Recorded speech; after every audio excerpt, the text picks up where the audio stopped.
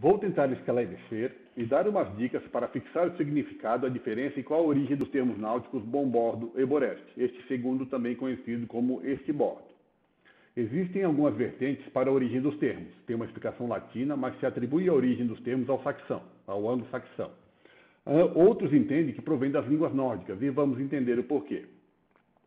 Na crença latina, temos que a saga das grandes navegações portuguesas data do século XV tendo seu marco com a fundação da Escola de Navegação de Sagres, em 1460, pelo infante Dom Henrique.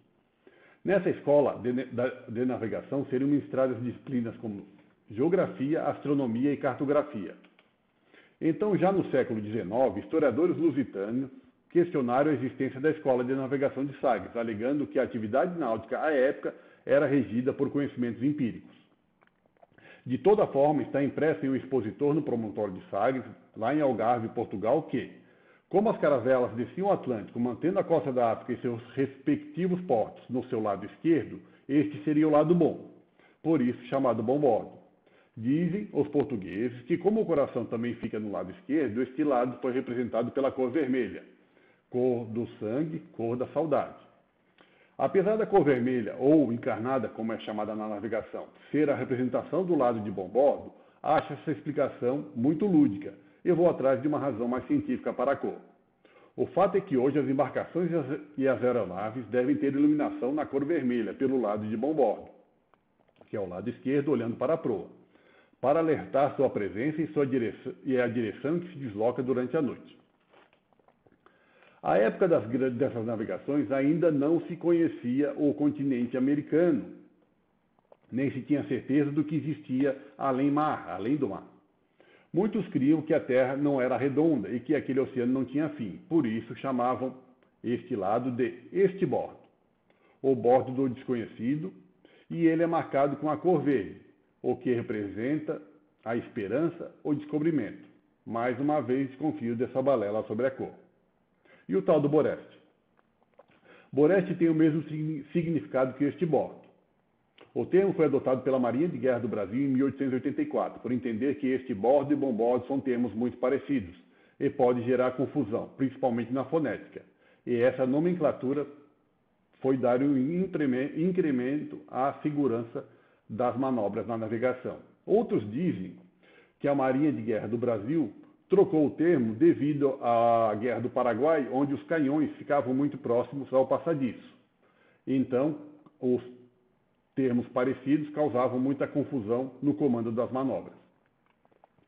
Tá, mas vamos lá decifrar a origem real dessas palavras.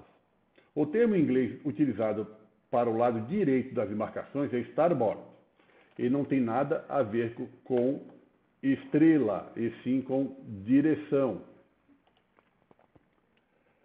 de steer, steerboard, que acabou virando starboard. Alguns dizem que o lado das estrelas seria o, largo, o lado oposto ao lado do continente. Porém, nas pesquisas que eu fiz, não, não foi comprovado isso. As primeiras embarcações não tinham um leme central. Elas não tinham, elas eram dirigidas com uma espécie de remo que comandava as manobras e ficava no lado direito do barco. Acredita-se que o leme era colocado nesse lado devido à maioria das pessoas serem destras. Então se chamava o bordo direito das embarcações de steerboard, ou o lado da direção, que acabou virando starboard. Já o lado, do, já o lado de bom bordo o lado esquerdo, em inglês se chama port ou port side. Como o sistema de direção do barco ficava do lado direito, só se podia amarrar as embarcações nos portos pelo lado esquerdo. Por isso, port side, lado do porto. Como no português, em inglês também existiam algumas confusões devido aos nomes de termos parecidos. Mais antigamente, em vez de port, se usava larboard. Por que larboard? Vem do inglês arcaico ladeboard e pode e quer fazer relação ao lado que o navio é carregado. Load.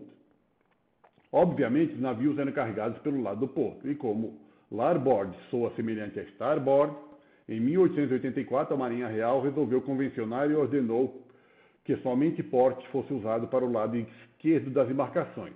A Marinha dos Estados Unidos seguiu o exemplo em 1846.